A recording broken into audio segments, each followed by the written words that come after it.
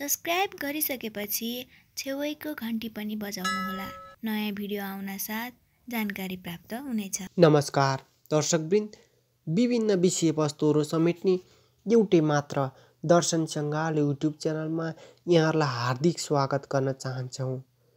आज बिल्कुलै नयाँ वस्तु प्रवेश गराएका छौँ। मित्रहरू सनातन धर्ममा दानलाई अत्यन्त महत्त्वपूर्ण मानिन्छ। यो केवल रहरको लागि मात्र गरिएको छैन तर यस दानमा पछाडि विभिन्न धार्मिक अभिप्रायहरू पनि जोडिएका छन्। हिन्दू धार्मिक ग्रन्थका अनुसार कामुक रमाइलो गर्ने कुरो दानबाट मुक्त हुन्छ। यसैले मान्छेले आफ्नो जीवनमा धेरै चिजहरू दान गर्दछन् तर कहिलेकाहीँ उसले यस्तो चिजहरू दान दिन्छ जुन उसले नगर्नुपर्छ। जुन उसले दिनु हुँदैन हामी आजको श्रृङ्खलामा यसै विषयवस्तुहरू प्रवेश गराएका छौँ। यसै विषयवस्तुहरूलाई जोडदार प्रस्तुत गर्नेछौँ। आउनुहोस् भिडियो अन्तिमसम्म हेरेर हामीलाई साथ दिनुहोला। कुन कुन कुराहरू दान गर्नु हुँदैन भनेर आज बताउनेछौँ। सर्वप्रथम त प्लास्टिकका वस्तुहरू।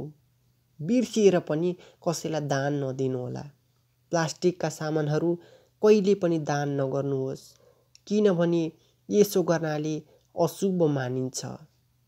तपाईँलाई अशुभ हुन्छ। प्लास्टिकका सामानहरू दान गर्नाले घरको प्रगति व्यवसायमा हानि पुग्दछ। आजकल प्लास्टिक धेरै चिजहरूमा प्रयोग गरिन्छ। तर यसलाई कहिल्यै दान नगर्नुहोस्। यो तपाईँका लागि अत्यन्तै अशुभ समाचार हुनेछ। तपाईँको जिन्दगीमा अशुभ हुनेछ त्यसैले प्लास्टिकका भाँडाहरू दान गर्ने प्रयास नगर्नुहोला।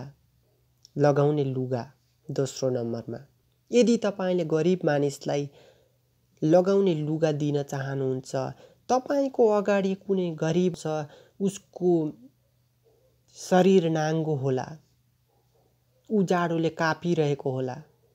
चिसो लाग्ला भनेर तपाईँले अरू नयाँ कपडा दिनुहोस् सक्नुहुन्छ यदि भने नयाँ कपडा खरिद गरेर दिनुहोस् तर आफूले लगाएका लुगाहरू दिने कोसिस नगर्नुहोला। लगाउने लुगा दान गर्नु गलत हो भनिन्छ। अथवा माग्नेलाई यो लगाउने लुगा दान गर्नु अत्यन्तै अशुभ मानिन्छ यो गलत कार्य हो। त्यसो गर्नाले पैसाको समस्या हुनसक्छ त्यसैले आफूले लगाउने कपडाहरू कहिले पनि दान नगर्नुहोला त्यस्तै अर्को तेस्रो नम्बरमा स्टिलका भाँडा। हामीले स्टिलका भाँडाहरू दान गर्नबाट जोगिनु पर्दछ। यिनीहरूको दानले तपाईँको घरको शान्तिलाई अन्त्य गर्दछ। स्टिलका भाँडा दान गर्नाले दाताको सम्बन्धलाई पनि धेरै असर पुर्याइरहेको हुन्छ। त्यस्तै अर्को आउनुहोस् झाडु।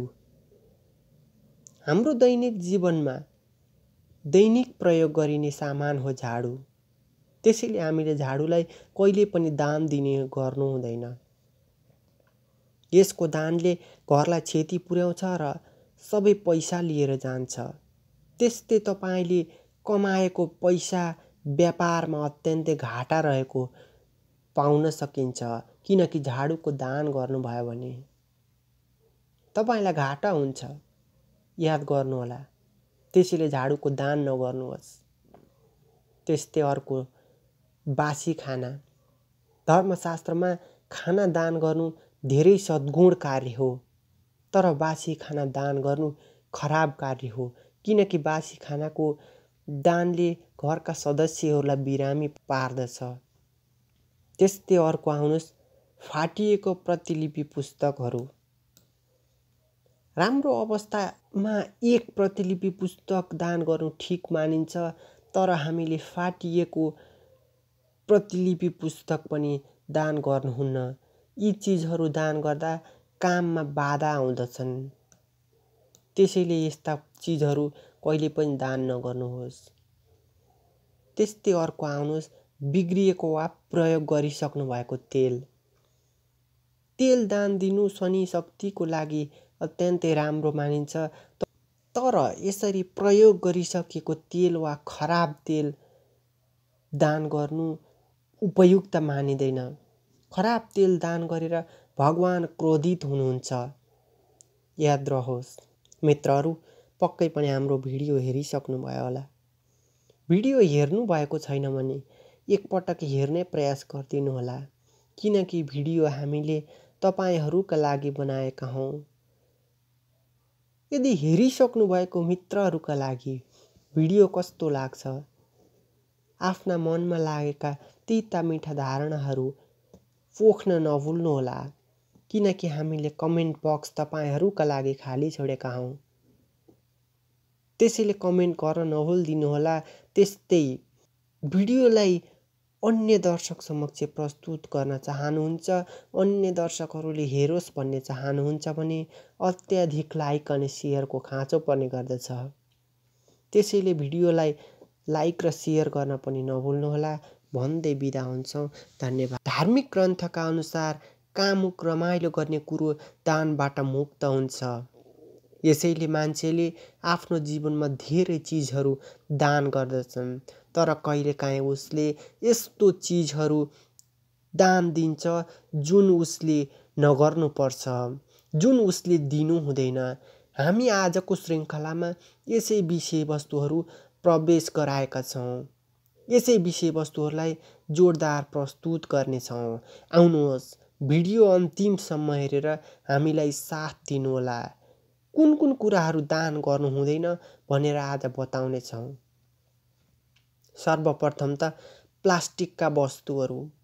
बिर्सिएर पनि कसैलाई दान नदिनुहोला प्लास्टिकका सामानहरू कहिले पनि दान नगर्नुहोस् किनभने यसो गर्नाले अशुभ मानिन्छ।